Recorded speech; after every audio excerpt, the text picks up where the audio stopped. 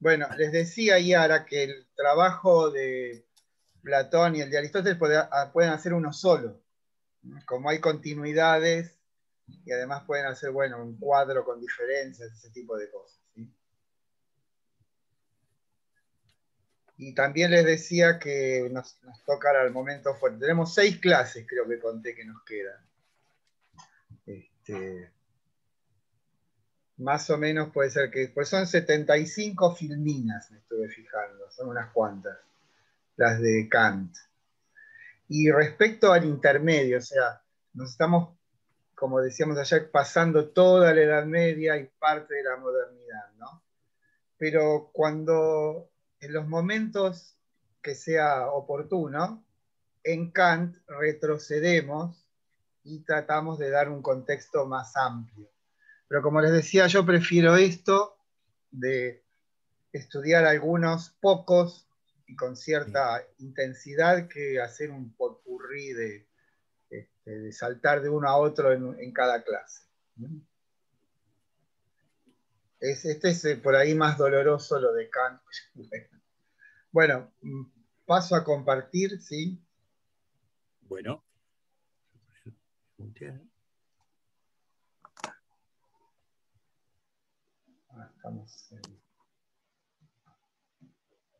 Que ayer lo estuve mirando, por eso estoy ahí.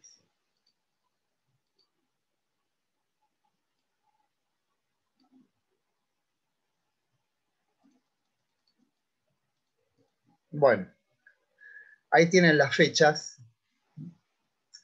Este, la cuestión de dónde nace saben que es una ciudad que en aquella época se llamaba Königsberg y luego de la Segunda Guerra Mundial pasó a llamarse Kaliningrado y forma parte, es como un territorio extraterritorial de la Federación Rusa.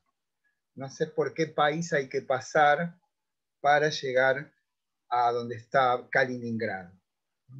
Puede ser, no sé si Letonia, Lituania o Estonia o Latvia, como se llama ahora.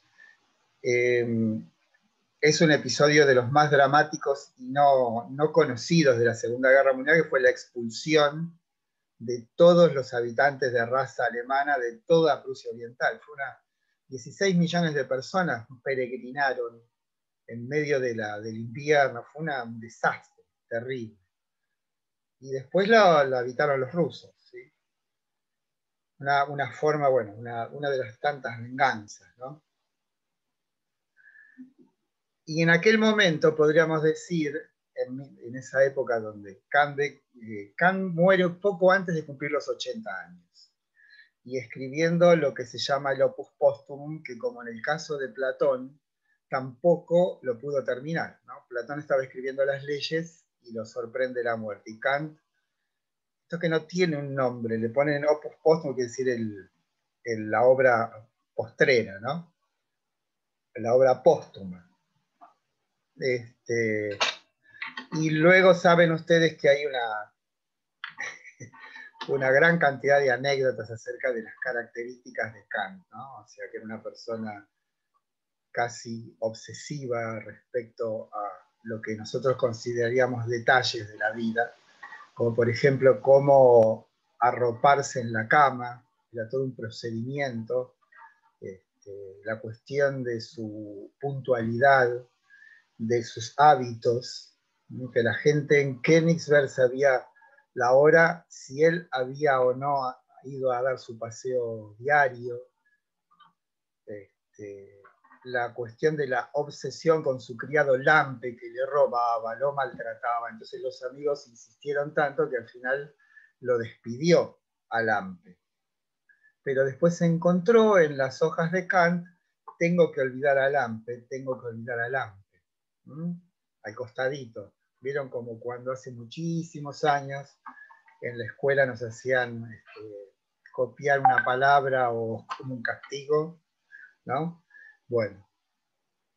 O la otra historia de sale a dar su paseo y un vecino le dice que él lo lleva a la casa, este es por una cuestión más de, diplomacia y de buenos modales acepta, pero él lo que no aceptaba es que rompan con, con, con sus hábitos, ¿no? Y este hombre, en vez de ir directamente de llevarlo a la casa, hace una serie de visitas. Y a Kant lo deposita en la casa a las 10 de la noche. Y Kant, que era de escribir máximas acerca de casi todas las cuestiones, escribe una que dice, no aceptar convite alguno de nadie si uno no es el que decide la hora de llegada. O el otro de el vecino que sabía que Kant meditaba contemplando un campanario cercano y ve que crece el árbol en su propiedad y lo corta para evitar este, que Kant se, digamos, se, indisponga por, ese, por esa cuestión. ¿no? Este, bueno, todo eso, toda esa intensidad en los detalles, la podemos ver transfigurada también en su obra. Saben ustedes que Kant escribe la crítica, va, publica la crítica de la razón pura a los 57 años. Si uno hace un recorrido de cuándo se escribieron las obras principales en la historia de la filosofía, vamos a ver que casi todas las grandes obras, por ejemplo las, obras de Platón, las de Aristóteles seguramente también, pero es alrededor de los 40 años. ¿no? O sea, Hegel escribe la fenomenología del espíritu en 1807 y nació en 1770, o sea, a los 37. Heidegger escribe tiempo a los 38. Pero Kant, la crítica de la razón pura, como digo, a los 57. Eso sin contar que estuvo 11 años pensando o escribiendo, va, pensando 10 años y medio, 6 meses escribiéndola. Este, pero hasta tiene un nombre, ¿saben? Tiene un nombre que se llama el silencio crítico. Son los 11 años que pasó Kant escribiendo la crítica. Así que vean lo que les espera. Anoche estuve escuchando, creo que yo se lo recomendé a Darin McNabb, un sitio que se llama La Fonda Filosófica, y tiene nueve clases dedicadas a la crítica de la razón pura. Son clases de no más de 15 minutos en general. Y cuando termina la última, la número 9, dice, ya sé que estoy cansado, están cansados y yo también estoy muy cansado. Como una suerte de, decir, bueno, no, podemos más, hay que terminarlo ahora porque no podemos más. Este, bueno, y todo esto, ¿sí? O sea, como una persona, de una, saben ustedes que, como dice Carpio, creo, que Kant es una de esas últimos individuos que de algún modo contenían en su mente todo el saber de su época. Cuando una vez falta el profesor de geografía y parece que Kant cubría todos los ámbitos del saber, entonces lo llaman a Kant para que lo sustituya. Y había un alumno inglés que estaba haciendo un recorrido. Y Kant tiene que dar como clase el Támesis y parece que fue tan exhaustiva la descripción del curso del Támesis, de las ciudades, bueno, fue una, este, al estilo kantiano, ¿no? Y cuando termina la clase, el inglés le dice como una obviedad, bueno, la próxima vez que venga a Inglaterra, espero hospedarlo en mi casa. Y saben ustedes también que Kant jamás salió de Königsberg, salvo al principio cuando fue esta tarea que hicieron tantos este, alemanes digamos, cultos, de ser preceptores en las casas de las familias ricas, ¿no? Lo fue Hölderlin, lo fue Kant, lo fue Hegel también, ¿no? Así que bueno, ese es una, el aspecto, el pintoresquismo kantiano. Y bueno, debe, haber muchas más. Yo lamentablemente no, no, no, hay en castellano, quise conseguir una buena este, biografía, pero lo que hay son estos salpicados pero me interesaría una biografía donde se muestre la génesis de la obra. Hay algunos, hay un libro de un muchacho, este, debe tener 40 años, sobre los años eh, de silencio de Kant, ¿no? O sea, que sería el momento de cuando se le van apareciendo las nuevas ideas, ¿no? Porque todo esto es una tarea ciclópea. Saben que Deleuze dice que hace una suerte de continuidad entre los artistas y los filósofos. dice que los filósofos lo que hacen es crear conceptos. Y si hay un creador de conceptos, formidable creador de conceptos, es Kant. Esto es el, como que la, tarea del filósofo es también una tarea creadora. Y esa tarea creadora este, sería fascinante si pudiese ser descrita desde la cabeza de Kant, cómo se le fueran presentando los problemas, cómo los fue resolviendo, por qué los fue resolviendo. Tengan ustedes la certeza que con él van a encontrar a alguien que va al fundamento. En ese sentido es supremamente pedagógico. Por eso mi, este, esta propensión que tengo a darlo de una manera, digamos, lo más eh, completa posible. Este, todo, digamos, todo en Kant tiene, es un plan estratégico. Saben ustedes que escribe tres críticas. La crítica de la razón pura, de la razón práctica y de la facultad de juzgar. Esa que se llama crítica de juicio. Y eso no es, eh, digamos, los, digamos, el centro de esta serie, de esta sucesión de tareas, tiene que ver con la búsqueda de aquello trascendental en la vida humana. Entonces, es el conocer, crítica de la razón pura, es el hacer, crítica de la razón práctica, es el padecer. No entiendan padecer como sufrimiento, ¿eh? el padecer como aquella disposición humana básica según la cual algo viene a nosotros. Ahí, justamente, que es la tercera crítica que le escribe en 1790, es donde está la extraordinaria y no muy conocida teoría estética de Kant. La estética de Kant está en la crítica de la facultad de juzgar junto con la teleología. Carpio, que fue profesor mío en tres materias en la carrera, al principio y al final, decía con ese tonito que tenía así tan este, irónico, decía, ¿saben ustedes por qué hay muy pocos especialistas en la crítica de la razón práctica de la crítica del juicio? Porque nadie llega vivo, decía. Claro, el tiempo que tarda uno en aprenderse todo esto, este, pero es un libro extraordinario, de muy difícil lectura. Tiene que ver eso de que Kant escribe el latín en alemán, ¿no? Hay oraciones que tienen ocho subordinadas, es, bastante demoníaco este, la lectura. Y de la crítica de la facultad de juzgar también. Aunque la crítica de la facultad de, la crítica de la facultad de juzgar se sostiene en cuanto a la comprensibilidad en las otras dos. Sobre todo en la primera es la que marca el horizonte.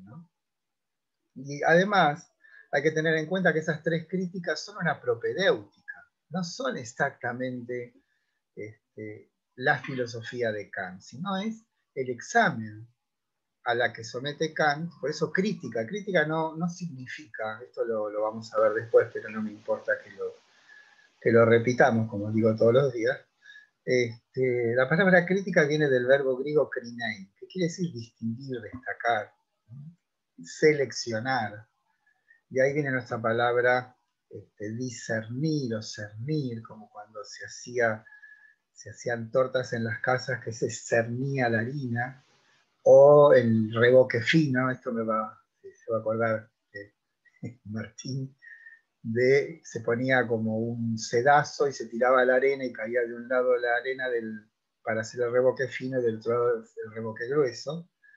Este, bueno, ahí, está exactamente eso es lo que quiere decir cernir o separar. Eso está en, la Teogonía de Síodo, que dice dioses y hombres en Mecona, ecrinonto, ese es un pasado, ecrinonto es decidieron separarse, hombres y dioses.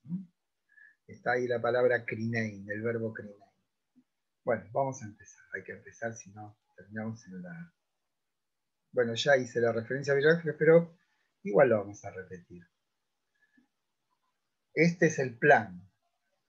Fundamentación de la metafísica de las costumbres. Es una obra que escribe Kant, creo que es en 2780, no, 1785. Que es eh, una suerte, o sea, cuando Kant termina la crítica de la razón pura, escribe un libro llamado Prolegómenos para toda metafísica futura, que tenía la intención de ser una suerte de explicitación, como de hacer más pedagógica la escritura de la crítica de la razón pura. Fue, fracasó, digamos, porque se complica más las cosas. Por eso en 1791, en 1797 escribe una segunda edición de la crítica. Si ustedes ven, todas las ediciones de la crítica dice, anticipan los parágrafos con A y B, refiriéndose a la primera edición y a la segunda.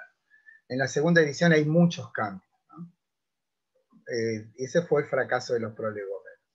Y con la crítica de la razón práctica hace lo mismo y es la fundamentación de la metafísica de las costumbres lo que hubiese, eh, lo, que equivale a, este, a estos prolegómenos. Un intento de, digámoslo así, dulcificar un poco. Y aquí no, es, no fue un fracaso, al contrario, es un libro extraordinario y no, no ofrece mayores dificultades. Por eso, en general, cuando se habla de la ética de Kant, se usa este texto, por lo menos para la introducción.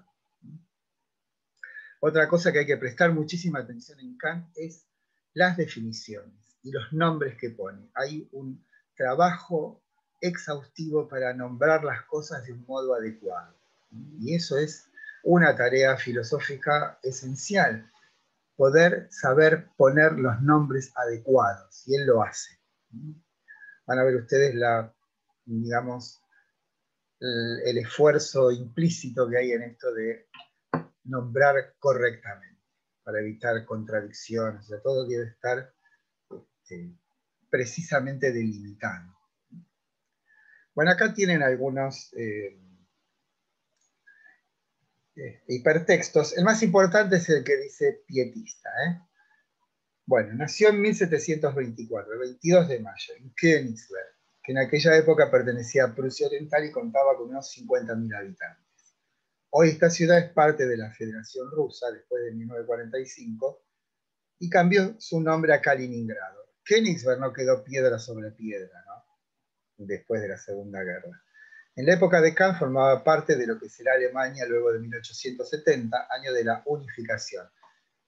Una de las, de las eh, cuestiones para entender algo de lo que pasó en Alemania es que la unificación alemana fue recién posterior a la guerra con Francia y de la mano de Bismarck. La unificación en Francia ya había sido hace muchísimo tiempo. En Inglaterra también.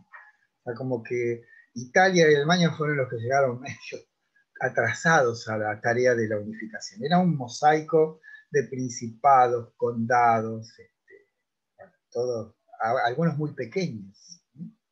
Los más importantes eran Baviera en el sur y Prusia en el norte. Bueno, tener en cuenta que hasta esa última fecha Alemania era un mosaico de... Ah, me repito a mí mismo, horrible. Kant, hijo de un tal abartero de probable ascendencia escocesa, fue educado en la fe pietista. Bueno, esto es importante este, porque puede dar lugar a que en la reflexión se descubra que lo que Kant este, tiene presente cuando escribe la parte práctica de su pensamiento, esto es la moral, o la ética, mejor dicho, está de algún modo gravitando la fe pietista. El pietismo es un movimiento dentro, obviamente, de la diáspora protestante, que tiene como rasgo significativo una suerte de rebelión contra la ortodoxia de los sacerdotes luteranos. Es una suerte de exacerbación de esta búsqueda individual que es de Lutero, este, solo la fe salva, basándose en esa famosa frase de la, de la carta a los romanos de San Pablo, o la interpretación, o sea, como que ustedes vieron que las iglesias o los templos, mejor dicho, este, protestantes no tienen imágenes. El sacerdote no tiene una, no es una carrera, siempre digo, si bien estudian, tienen una vida familiar, no están fuera. ¿sí? no hay santos, no hay la Virgen María, todo es una, una, suerte de intento radical de establecer, eh, digamos, el orden de lo religioso en una relación individual, personal entre yo y Dios. Entonces, el pietismo forma parte de ese espíritu del luteranismo que hace arraigar la fe en una suerte de búsqueda de la pureza interior, del llamado desde dentro. Por supuesto que eso dio lugar a toda clase de excesos, estos individuos que creen, que escuchan y ven, que tienen, este, que por supuesto siempre funciona, ¿no? siempre Dios les habla, siempre Dios les dice y terminan este, muchas veces en, en este, suerte de de un frenético supuesto éxtasis colectivo, bueno, todo ese tipo de cosas. Bueno, el pietismo, pero lo que hay que pensar del pietismo en Kant es esa búsqueda de una forma, de una pureza interior, que no, no es a través de las noticias que nos pueden dar las cosas, sino que la verdad del hombre está en el corazón del hombre. Bueno, eso después va a enlazarse con la lectura de, Rousseau, sobre todo del Emilio. Pasa que tiene más prensa las peripecias de la crítica de la razón pura que la crítica de la razón práctica, pero de hecho, cuando estaba leyendo el Emilio, Kant no salió a dar sus paseos. Y una cosa más que tiene que ver con la personalidad de este hombre, que no, no crea que era una suerte de este, monje filosófico dedicado solo al meticuloso estudio de toda cuestión. Al contrario, era sumamente popular, gracioso, simpático y participaba de determinadas reuniones sociales, por supuesto metódicamente. Decía que las reuniones sociales debían ser menos que las musas y más que las gracias, o sea, menos de nueve y más de tres, ¿no? Y era siempre muy bien recibido e incluso estuvo dos veces a punto de casarse, pero tanto tiempo estuvo meditando que las novias este, eligieron otros caminos. Y después tenía esta cuestión de irse a, reunir con un grupo de amigos y estaban, cuando iban llegando se iban durmiendo. Y el último que llegaba los despertaba a todos. ¿sí? Esas costumbres, la costumbre de conversar, ¿no? cosa que no ha medio desaparecido. Bueno, Kant nunca salió de su ciudad natal, salvo por un corto lapso de tiempo en que, como era común en su época, trabajó como preceptor de una familia, no muy lejos de Königsberg. Vivió modestamente de su sueldo de profesor de universidad y su modestia, disciplina y rectitud fue proverbial. Basta como muestra su funeral que fue un acontecimiento en su ciudad. Respecto a su disciplina, se cuenta que las personas sabían la hora según si el señor profesor había o no salido a hacer su paseo diario. Su erudición era comparable con la de los humanistas del Renacimiento. Ningún ámbito del saber le era ajeno. Bueno, acá está la historia del inglés. Bueno. El conocimiento en Kant, me refiero a su capacidad de aprender, era extraordinaria y era acompañada por una implacable disciplina para el trabajo y con este la vocación de llegar a ahondar hasta donde sea posible. Ambas aptitudes, aptitud intelectual y tesón, dieron lugar a obras que cambiaron de un modo decisivo los tiempos por venir. De él surge, por una parte, la corriente del idealismo alemán con Fichte, Schelling y Hegel, y de este último Marx. Saben que Marx era un hegeliano de izquierda en sus comienzos, que no era economista. Marx era, este, se había doctorado en filosofía sobre las diferencias este, en el pensamiento de Demócrito y de Epicuro quien en sus comienzos fue un hegeliano de izquierda. Y por la otra, la serie que comienza en Schopenhauer sigue con Nietzsche y culmina con la llamada postmodernidad. Así como Platón, más allá de la disputa con los sofistas, que eran en realidad circunstanciales oponentes. El asunto central que desde un punto de vista filosófico lo ocupó fue la tensión entre el pensamiento de Parménides y el de Heráclito, estamos hablando de Platón. Y el resultado de esta tensión fue una doctrina, la de las ideas, que de un modo armónico resolvió la oposición en una instancia superior en la que ambos estaban reunidos en una síntesis que los albergaba y superaba a la vez. Del mismo modo, Kant se encuentra en una encrucijada similar, dos posiciones antitéticas e irreductibles, entre las que él ofició de algún modo de juez. Los oponentes, en su caso, eran el empirismo y el racionalismo que se disputaban el patrimonio de la verdad de su época. Se podría decir que el veredicto de ese juicio conjetural fue la crítica de la razón pura.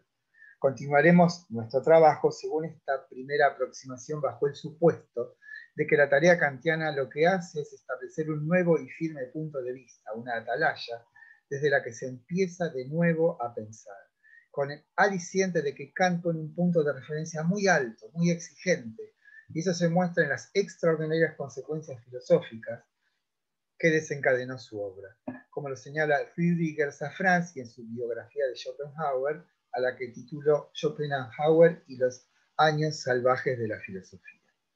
Bueno, eso tiene que ver con que poner una referencia muy alta hace que los que siguen deban hacer ese calvario para llegar a la altura de esa obra que los precedió. Eso, eso es, un, es como lo que se llama un ideal regulativo, ¿no? que se pone como un, objetivo a, llegar. O sea, el esfuerzo que habrá implicado a generaciones de estudiantes que estamos reconstruyendo tímidamente hoy aquí, de acceder a esa perspectiva que da Kant, hace que se, digamos, fecunden determinadas posibilidades que están insertas en nosotros, pero si no hay, si no hay un, estímulo que se aparece como un polo al cual uno debe acceder, esas posibilidades, esas capacidades quedarían adormecidas. ¿no? Esa es una verdadera pedagogía de, respecto de lo que implica esto de tener un desafío de semejante envergadura. ¿no? Bien, Empecemos con, ah, bueno, les voy a decir cuál es mi estrategia este, pedagógica, que es, vamos a hablar de ciencia, o sea, tímidamente, pero el, el asunto central para mí que desencadena la exigencia que le pone para Kant su época de escribir esta obra tiene que ver con la, con la emergencia en el mundo espiritual de esa época de la física de ese es el asunto. Que el pensamiento de su época, empiristas y racionalistas, no podían dar cuenta de ese hecho, ese hecho de la física de Newton. Vamos a ver en qué consiste el hecho de la física de Newton. Empecemos con lo que suscitó o agitó la controversia entre las posturas filosóficas antitéticas y que de un modo u otro hizo a Kant intervenir en dicha disputa, la física de Newton. Ocurre que la ley descubierta por el sabio inglés, la ley de la gravitación universal, era un conocimiento que está obviamente referido al comportamiento de los entes que se encuentran en el espacio y en el tiempo, y describe el movimiento de tales entes a través de una ley que tiene el carácter de la verdad.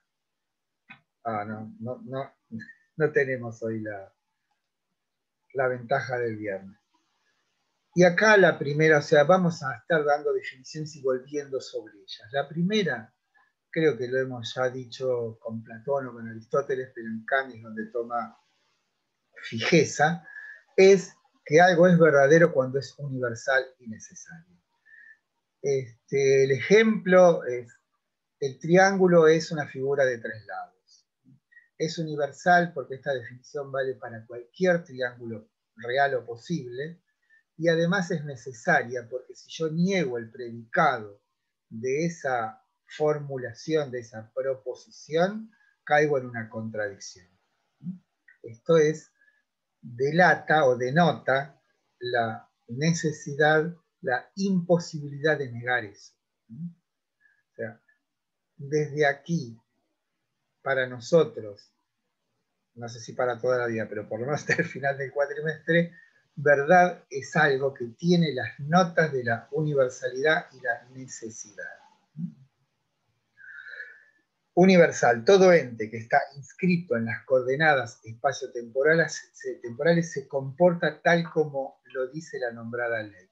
Y esto, insisto, para todo ente. La ley de la gravitación universal rige en la Tierra, rigió antes, regirá después, rige en Saturno, en Marte, ¿no? O sea que eh, recordarán ustedes la anécdota de la manzana, el episodio de la manzana. Este, en realidad esto es la ley de la gravitación universal, termina con la idea aristotélica que decía que cada cosa busca o se mueve en tanto busca esa cosa su lugar natural. El fuego, lo aéreo, bueno. Lo que hace Newton es decir que los movimientos tienen que ver con la masa de algo y esa masa opera como una fuerza atractiva. Esa es la ley de la gravitación universal. Y esa ley tiene, o mejor dicho, esa proposición es una ley. Porque no hay ningún movimiento que escape a esa legalidad. Y eso es lo que hablamos de la universalidad y la necesidad. Necesario, bueno, hay, hay una pequeña definición de la ley, a ver qué dice, no me acuerdo.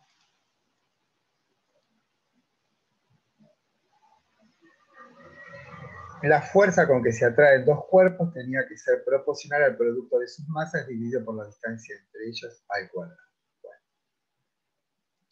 A nosotros lo que nos importa es que esa ley se cumple universal y necesariamente. A estas dos notas insoslayables se acompaña el hecho de que la verdad reside en la proposición. Recuerdan que cuando nuestra última sesión con Aristóteles insistimos en esto. ¿Dónde reside la verdad? La verdad reside en las proposiciones. Las verdades inscritas en proposiciones del discurso científico se llaman leyes. Y las leyes, como proposiciones, existen escritas en los libros de ciencia. si ustedes le ¿dónde está la verdad? La verdad está en las leyes. Después, supuesto, estamos hablando del punto de vista científico.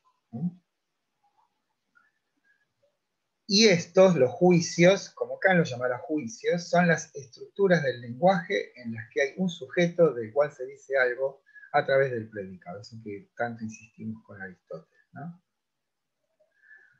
Bien, la ciencia se la encuentra en los libros de ciencia, de física en nuestro caso, bajo la forma de leyes. Y estas no son sino juicios. O sea, ahora intentemos asociar o fijar juicios como proposiciones porque es el nombre que le pone Kant, que es Urteil. De ahí nuestra primera afirmación, que en realidad fue dicha por Aristóteles en el siglo IV, la verdad reside en el juicio. Entonces, lo a indagar, o sea, si el asunto es la verdad, entonces lo que hay que indagar es en la naturaleza y génesis del juicio. Ahí es donde está el asunto que nosotros debemos tratar, se dirá Kant. ¿De qué estamos hablando? estamos tratando de saber qué significa conocer. ¿Cuál es la forma eminente de conocer? La ciencia. Bien, ¿de qué está compuesta una ciencia? De juicios. Cuando esos juicios son verdaderos, los llamamos leyes. Entonces, nuestra tarea, dirá es escudriñar en el espíritu o en la mente humana para poder saber descubrir qué cosa es lo que hace nuestro entendimiento cuando gesta esto que llamamos un juicio.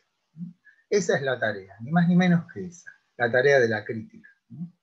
De ahí, bueno, ese es el hilo conductor, pero van a ver las insondables peripecias a donde los conduce esta, esta cuestión de principio que es simple de formular y de entender, ¿no?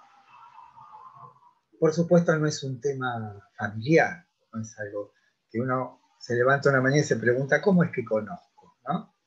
Pero no estaría mal que uno se pregunte a veces. Entonces, lo a indagar es cómo nosotros los hombres, en el caso particular de Kant, los científicos, con nuestras capacidades cognitivas accedemos a esa posibilidad de emitir juicios verdaderos. Esto es, universales y necesarios. Los juicios, hasta en la tradición que debemos nombrar, aquí debemos nombrar la lógica formal, había establecido que existen dos tipos de juicios. Analíticos, los que en el predicado no dicen sino algo que está implícitamente albergado en el sujeto. El triángulo es una figura de tres lados. Claramente una figura de tres lados surge de una simple inspección del sujeto y en este de su núcleo, el sustantivo triángulo. Recordando que si examinamos la palabra sustantivo, tal como lo hicimos cuando estudiamos Aristóteles, podríamos decir que lo sustentado por el sustantivo son sus predicados. Y estos son los enunciados en el predicado del juicio. Su veracidad se expresa al cumplir con los dos principios enunciados, son universales y necesarios. O sea, los juicios analíticos son siempre verdaderos, porque no son sino aquello que expone lo que de algún modo está implícito en el sustantivo. No se necesita ninguna verificación externa o empírica para aprobar la veracidad de un juicio analítico. Simplemente lo que eh, se dice que no son fecundos en el sentido de que otorgan nuevos conocimientos, pero sino que son rigurosos, pero como digo, infecundos. Esos son los juicios analíticos, siempre verdaderos. Son como tautologías, porque lo dicho en el predicado es lo que está de algún modo ya dicho en el sujeto. Piensen ustedes que en el caso de la matemática, o en muchos casos en la matemática, o como aprendimos con Platón, la secuencia de proposiciones que se siguen a los principios no son sino juicios analíticos, porque ese es el modelo de lo matemático, hasta cierto punto. Porque porque la derivación, recordemos también a Parménides, que se hace a través de la deducción, es que partiendo de determinados axiomas y con aquello que de algún modo está inscrito en los axiomas, podemos establecer secuencias de pensamiento tan verdaderos como el principio que tienen como origen. Y eso además se le agrega un método que es la deducción, que eh, también está sometida, obviamente, a las leyes están inscritas en sus axiomas. Es una forma como autorreferencial. Bueno, ese sería el modelo de los juicios analíticos. Bueno, y los sintéticos los dejamos, bueno, los leo, tenemos un minuto 17 sintéticos, los juicios cuyo predicado no surge de la simple inspección de la mente sobre el sujeto, sujeto, sino que no pertenecen a él. Por ejemplo, la puerta es marrón. Claro está que el predicado marrón no pertenece al sustantivo puerta, sino que surge de la experiencia. Esto es de un dato que aportan los antiguos. Tener en cuenta que la palabra síntesis es una palabra de origen griego, sun es con, y tesis es poner o situar algo. De ahí que síntesis puede ser expresada como composición de algo. A diferencia de los analíticos, los sintéticos son particulares y contingentes. Valen para este caso en particular. Nos vamos por un ratito, ya llegamos. Buen día, que no nos saludamos. Buen día. Buen día. Hasta luego, hasta luego.